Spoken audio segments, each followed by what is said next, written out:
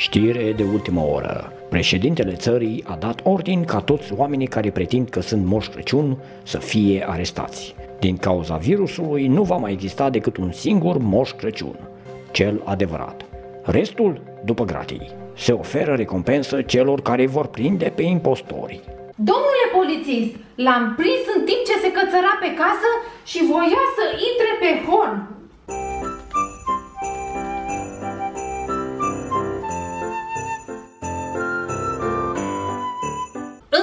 Care pretinde că este Moș Crăciun. Îmi vreau recompensa. Faceți o mare greșeală! Nu-l băga în seamă. El crede cu adevărat că e Moș Crăciun. Păi sunt! Dați-mi câteva secunde să vă explic. Nici măcar o secundă, impostorule. Într-un fel, aveți dreptate. Eu nu sunt adevăratul Moș Crăciun. Ai cunoscut! Adică nu sunt, dar și sunt în același timp. Vino mai aproape. Mm. Vezi? E barbă falsă. Ți-am spus eu. Au! Nu trebuia să faci asta. Tocmai vreau să-ți explic că e falsă. Apropo, și burta e falsă. La prima vedere, par vinovat, dar nu sunt. Chiar nu sunt. Moș Crăciun, cel adevărat, dar expirat. Expirat? Să vă explic. Moș Crăciun, cel adevărat, și-a dat demisia, pentru că era mult prea bătrân. O, săracul, cred că avea mii de ani. Și în locul lui a zis, vii tu, adică eu, și pleci spre copii, mâine. Eu trebuie să livrez milioane de cadouri într-o singură noapte. Ah, ce ușor e de zis pentru el. Azi vii, mâine pleci și... Ce facem? Unde e pregătirea? Experiența? Ce mă fac? Eu nu știu de ce ne mai pierdem timpul cu el. E un mare păcălicios. O să dăm o șansă. Dar așa cum vedeți și voi, eu nu am barbă, nu am burtă.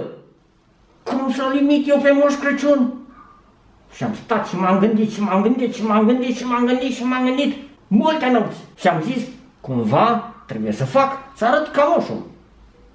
Și mi-am pus barbă falsă și mi-am pus burtă falsă. Piu, habar n-aveți voi cât de nașpa e.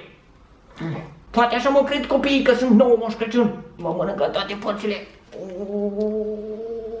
Crezi că am făcut o greșeală? Cu el? În niciun caz. Oh, cum să vă conving? Eu zic să-l testăm. Da. Unde e casa lui Moș Crăciun? La Polul Nord, departe de aici, unde e doar frig și gheață și îmi tremură oasele. E prea ușoară întrebarea. Toată lumea știe asta. Hmm. Cum se numesc renii? A, am uitat să-i memorez. Tot timpul am zis că trebuie să-mi aduc aminte numele lor. Și acum, ce mă fac? Hmm. Vitezumanul! Dansatorul! Narcisistul! Frumosul! Încăpățânatul! Hmm. Îndrăgostitul! Hmm. Nervosul! Curajosul! Eroul! I-am spus după calități. Eu am întrebat care sunt numele lor, nu ce calități au. Ma, îmi stau foarte prost cu memorarea numelor. Așa am învățat eu. După ce poate fiecare să facă. Bine, să trecem peste asta. Ce-i place moșului să primească de la copii? Aha!